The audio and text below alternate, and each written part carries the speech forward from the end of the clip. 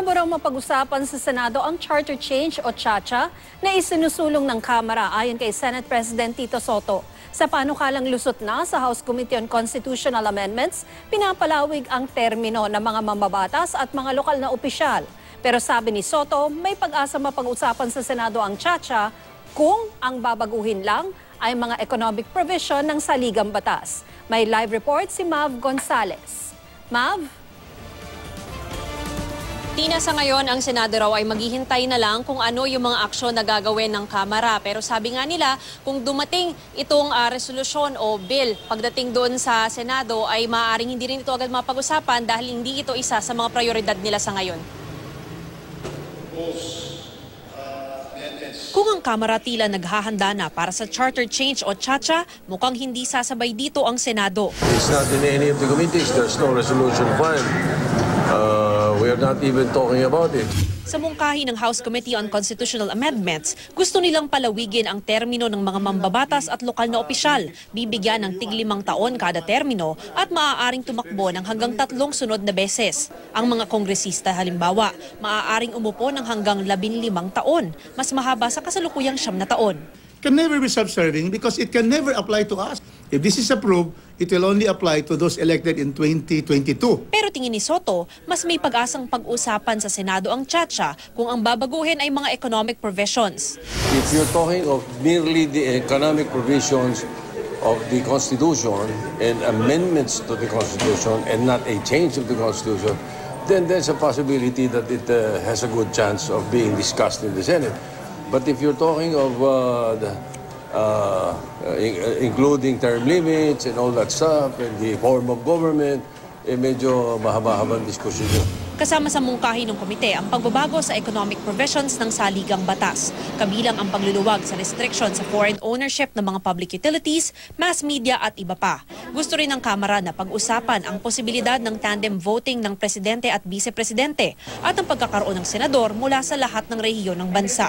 Nakatakdang pag-usapan sa plenaryo ng Kamara ang charter change sa Enero.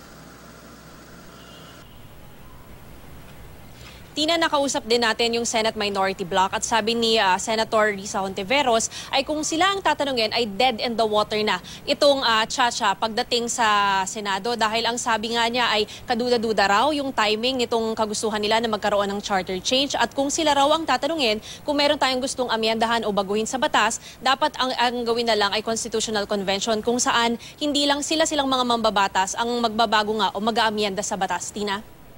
Hindi ba na-convince, Mav, yung mga senators dun sa sinasabi ng mga kongresista na yung mga nakaupo ngayon will not benefit from any amendments?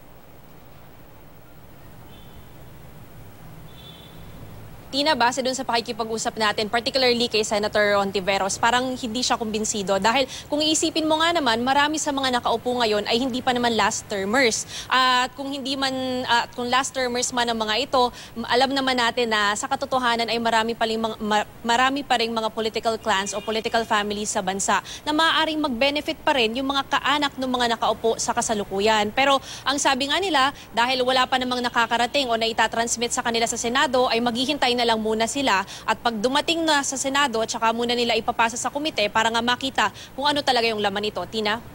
Yun bang ah, posisyon ni Senator Ontiveros, Mav, ay ganun din ba ang ah, sentimiento noong mga nakararaming senador?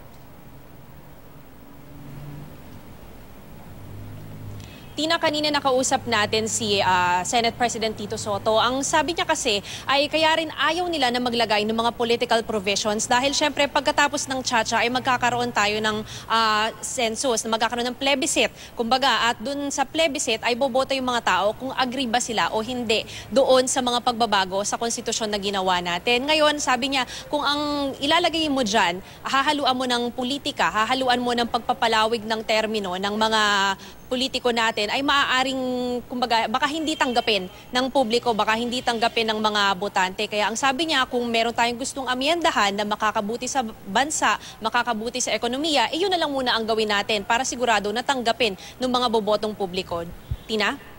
Etong si ah, Senate President Tito Soto, ah, inexplain ba niya kung bakit ang gusto lang niyang pag-usapan if ever isusulong sa Senate yung chacha ay yung economic provisions lamang? Na-explain ba niya kung bakit? Tina, kanina ang sinabi lang nga ni SP Soto ay yun nga dahil sabi niya hindi at sa tingin niya kasi hindi rin lulusot nga kung sakaling ah, magkaroon tayo ng mga pagbabago doon sa political provisions. At kung ito ay ipapaplebisito mo ay maaring hindi tanggapin ng mga tao. Dahil kung iisipin mo nga naman eh medyo mahaba na nga yung 9 years halimbawa para sa isang mayor para sa isang local government official gagawin mo pang 15 years. Kaya kumbaga parang in a democratic setting eh mas maganda na um, hindi ganoon kahaba yung ibibigay mo na termino doon sa nag-iisang political entity. At ang sabi niya, ah, antayin na lang nga nila kung ano yung ipapasa sa kanila ng ah, Kamara. Pero sa tingin niya ay hindi talaga ito mapapag-usapan. Baka ah, mapanis lang. Kumbaga sa Senado, kung hahaluan nga nila, ipipilit nila itong mga political provisions na ito, Tina. Well, may ilang buwan pa yung kasalukuyang Kongreso, Mav, kaya tingnan na lang natin kung anong magiging developments. Maraming salamat, Mav Gonzales.